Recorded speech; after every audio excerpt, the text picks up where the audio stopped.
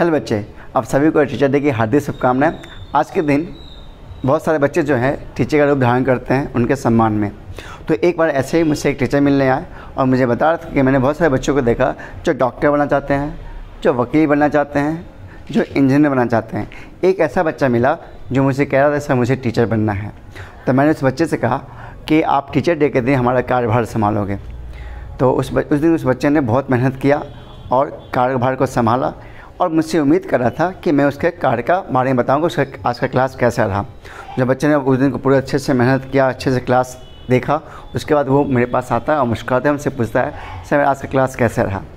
तो मैं इस पर कहता हूँ कि आपसे एक अच्छा टीचर महज बन सकता है। वो इस बात को सुनते ही निराश हो जाता है, उदास हो जाता है और कहता है कि, सर, मैं एक अच्छा टीचर कैसे बन सकता हूँ? फिर उस बच्चे से मैं कहता हूँ कि, आप हमारे स्कूल के बाहर एक कुम्हार रहता है, जो मिट्टी का बर्तन बनाता है आप उसको एक मंथ तक पढ़ाओ। तो बच्चा उसको एक मंथ तक पढ़ाता है, बहुत मेहनत करता है, बहुत प्रयास करता है और उस कुमार को पढ़ाने की कोशिश करता है, लेकिन उसको पढ़ाने में वो असफल हो जाता है। तब वो मेरे पास आता है और मुझसे कहता है कि, सर, मैं उस कुम्हार को नहीं पढ़ा पाया, असफल रहा, मुझसे नहीं हो पाया, क्योंकि उसके पास वक्त नहीं है। कुमार को कहता है कि, मेरे पास वक्त नहीं है।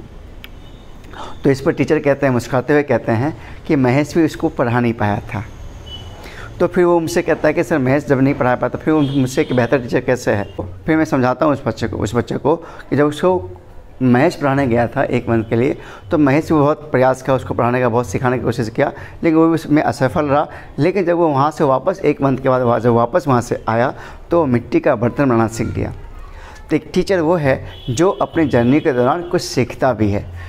आप सभी टीचर्स जो भी हैं हम लोग भी अपने बच्चों से सीखते हैं। Teacher is one who learn something from your strength from the surroundings from in the journey of the teaching तो आज सभी को टीचर डे की हार्दिक शुभकामनाएँ। तो हम लोग मिलते हैं नेक्स्ट वीडियो में।